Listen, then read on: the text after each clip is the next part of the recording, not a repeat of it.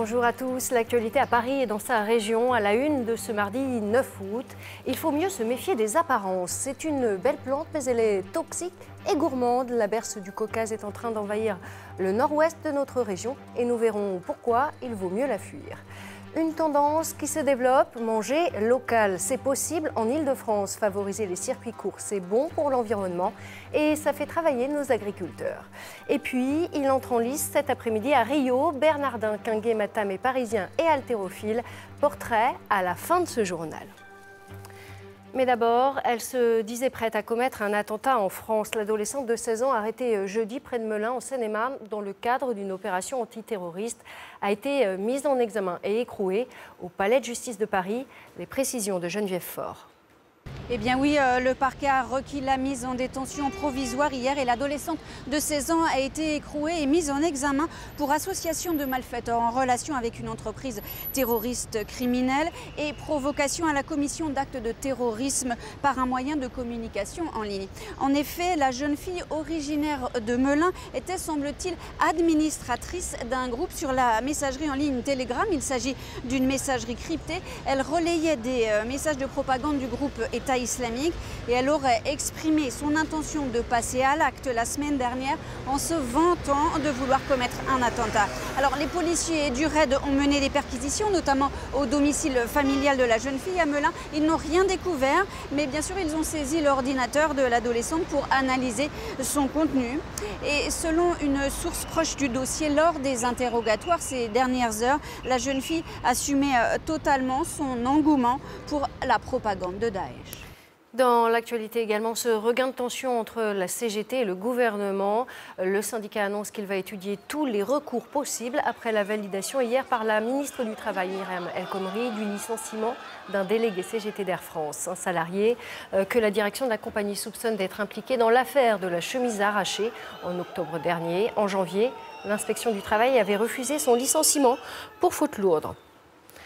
Un conseil, apprenez à la reconnaître pour savoir l'éviter. La berce du Caucase, une plante qui envahit notre région et dont la sève provoque des dégâts sur la peau, cloques, œdème et parfois brûlures. Attention, ne pas toucher euh, Bruno Lopez et Pierre Pachou. En ce moment, c'est la pleine floraison. On trouve la berce sur les bords de route, dans les prairies ou les terrains vagues.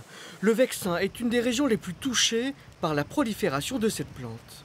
Le fait de broyer euh, les bordures de route, alors c'est pour faire esthétique, c'est pour éviter aussi qu'il y ait des chardons qui rentrent dans les cultures. Donc la matière, elle retombe au sol, elle se minéralise, elle enrichit le sol, et petit à petit, on va favoriser ces espèces-là qui adorent les sols riches en nutriments.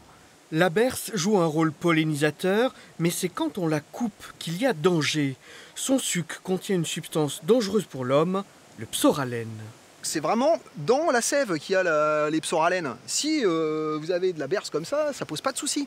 C'est quand on commence à, la débroussailler, qu'on met pas d'équipement de, protection, eh ben là on prend des sucs partout sur nous et donc euh, bah, cette fameuse molécule, la furocumarine ou le psoralène, c'est des substances en fait euh, qui sont contenues dans le, dans le suc de la plante et quand on l'a sur la peau, ça se combine avec les cellules épidermiques et ça capte les ultraviolets.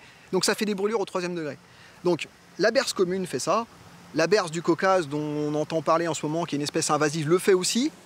Car il y a bien une espèce endémique locale et une espèce invasive importée d'Asie centrale, la berce du Caucase. Ces populations denses occultent la lumière des plantes locales voisines. Vous voyez, toujours ces espèces de feuilles très pointues euh, à très grandes, euh, avec donc les ombellifères caractéristiques de la famille. Le problème est plus sanitaire qu'écologique, car l'invasion est pour l'instant limitée à 6 ou 7 points circonscrits. Ce n'est donc pas l'heure de sonner le tocsin dans le Vexin. Et une marche de plus pour Anne Hidalgo dans la conquête des hautes sphères. La maire de Paris vient d'être élue hier présidente du C40.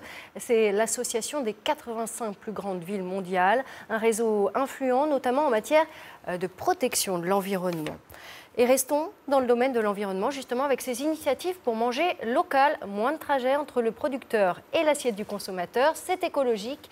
Et en Ile-de-France, c'est tout à fait possible car nous avons l'embarras du choix. Maud de Bohan et Audrey Nathalie. Savoureuses, sucrées et juteuses, les fraises de Fabrice sont sa fierté. Ne parlez pas de culture hors sol à cet amoureux de la terre. Ce maraîcher cultive, comme il dit, le potager de sa grand-mère. Sa production, il la vend sur les marchés parisiens, un choix tout aussi mûri que ses fruits et légumes. Un client, c'est la fin, ça devient comme un ami.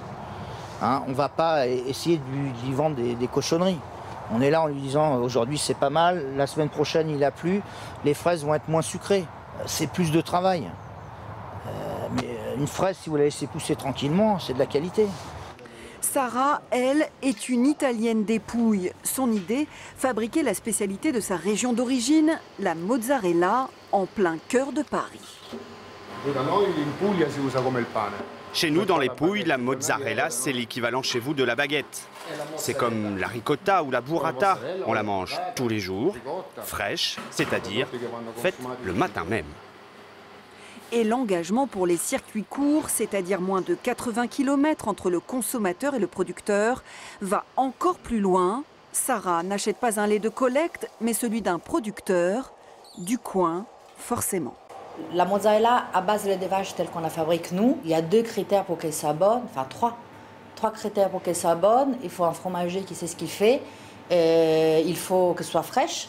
Il faut qu'il y ait du bon lait de vache. Et franchement, c'est pas ce qui manque euh, en France ni en Ile-de-France. Miel, bière, yaourt, biscuits, le locavorisme essaime aussi dans les supermarchés. Exemple, Monoprix qui vient de lancer les Médines pas très loin. 157 produits franciliens référencés et ça marche plutôt bien. C'était une très grande surprise pour nous de voir euh, déjà toute la richesse au niveau de l'entrepreneuriat local autour de Paris que l'on a finalement découvert. Euh, et on n'en est qu'au début, c'est-à-dire qu'au fur et à mesure, on, va complémenter cette offre, l'agrandir, l'élargir. Et puis après, euh, bah, c'est le client hein, qui, va, qui va de toute façon décider. Au cœur de cet engouement, il y a le Servia. Cette association agricole a créé un site internet, Mangeons local en Ile-de-France. Elle a aussi lancé un label. La force de l'opération, c'est que tout le maillage de professionnels de bouche et de proximité s'empare de cette démarche-là. Chez les bouchers, chez les primeurs, chez les fromagers crémiers, chez tout cet ensemble de, professionnels, on est euh, cette démarche et cette prise de conscience-là. Pour Fabrice comme pour Sarah, le locavorisme est surtout une histoire de qualité et de fraîcheur. Tous deux fournissent d'ailleurs des chefs étoilés. La reconnaissance est aussi là. Et on passe maintenant au sport avec notre série consacrée au JO. Tous les jours, euh, nous vous présentons les athlètes franciliens qui défendront nos couleurs à Rio. Et cet après-midi, entrée en liste du Parisien Bernardin Kingé-Matam. C'est un haltérophile et avec lui, on perfectionne notre épaulé jeté. Jean-Philippe Lemaire et Nedim Lokarevitch.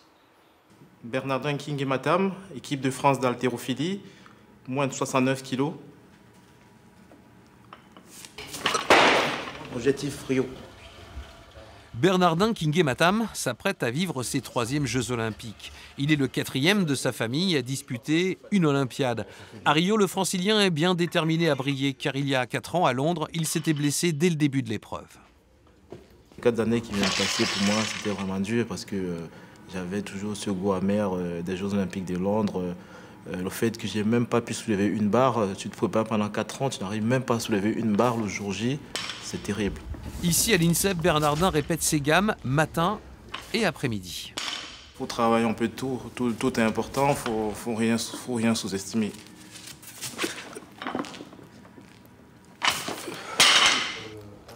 L'entraînement est terminé. Pour sa préparation olympique débutée en mars, Bernardin loge ici, à l'INSEP. En tant qu'athlète de haut niveau, son emploi à la direction des ressources humaines dans une grande société d'autoroute lui permet de concilier travail et entraînement.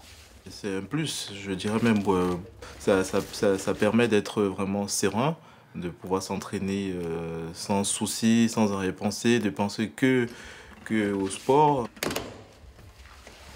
Nouvelle séance de travail pour Bernardin, sous l'œil avisé de son entraîneur Venceslas Dabaya, ancien haltérophile, médaillé d'argent aux Jeux Olympiques de Pékin en 2008. Là, tu vas vite, là. Il a beaucoup d'atouts pour pouvoir vraiment prétendre à, une médaille. Je pense qu'il faudrait qu'il soit prêt à répondre à ses adversaires. C'est euh, très violent, C'est autant qu'un combat de boxe, nerveusement, physiquement. Et euh, nous travaillons tous les jours justement pour être prêts. C'est un rêve, on se dit, euh, c'est réalisable. C'est réalisable. J'ai la possibilité, il faut que je me donne vraiment à fond. Vraiment à fond, surtout pour ne pas avoir de regrets, parce que je sais que c'est possible. C'est possible. Bernardin s'est préparé depuis 4 ans pour ce rendez-vous qui approche et il va tout faire pour y répondre présent. Ça ne vous a sans doute pas échappé si vous êtes amateur du genre. C'est l'année des grands travaux pour les théâtres parisiens. Euh, celui de l'Athénée, dans le 9e arrondissement, vient de terminer sa rénovation et il va rouvrir dans un mois. Revue de ce qui change avec Geneviève Faure et Pierre-Julien Kiers. En plein cœur de Paris, à deux pas de l'Opéra Garnier, le théâtre de l'Athénée Louis Jouvet l'une des plus belles salles à l'italienne de Paris classée monument historique. Après un an de fermeture, le chantier est en passe d'être terminé. Patrice Martinet, directeur depuis 25 ans, offre ce matin-là une visite privée. Là, vous agrandissez considérablement le plateau. Disons, c'est à peu près 30% de surface de plateau supplémentaire, ce qui n'est pas négligeable car la principale rénovation de cette phase de travaux consiste en une nouvelle fosse d'orchestre modulable en surface et réglable en hauteur grâce à un système perfectionné de vérins télescopiques. Il fallait auparavant euh, plusieurs jours pour démonter la fosse d'orchestre et vous avez vu que c'est quelques secondes maintenant. C'est un théâtre qui va enfin pouvoir accueillir euh, disons, un répertoire beaucoup plus important, musical. C'est-à-dire que 30 musiciens, euh, la musique baroque, par exemple. Inauguré il y a 120 ans, dirigé par Louis Jouvet de 1934 à 1951, puis racheté par Pierre Berger à la fin des années 70, l'Athénée est aujourd'hui sous la tutelle du ministère de la Culture. Mais son directeur rêve aujourd'hui d'une fondation pour pérenniser son existence. C'est un théâtre qui est euh, onéreux en fonctionnement. Les subventions sont très insuffisantes. Ce sont des subventions qui seraient suffisantes pour un théâtre où il n'y aurait pas un loyer de 300 000 euros par an, par exemple.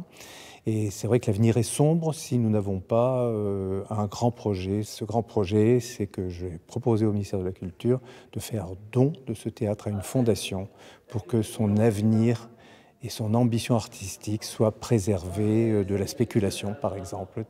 L'Athénée, restauré, attend ses premiers spectateurs dès le 24 septembre prochain. C'est la fin de ce journal. Tout de suite, l'édition des initiatives, puis le journal de la rédaction nationale. Je vous retrouve ce soir pour l'info dans votre région. Très bel après-midi.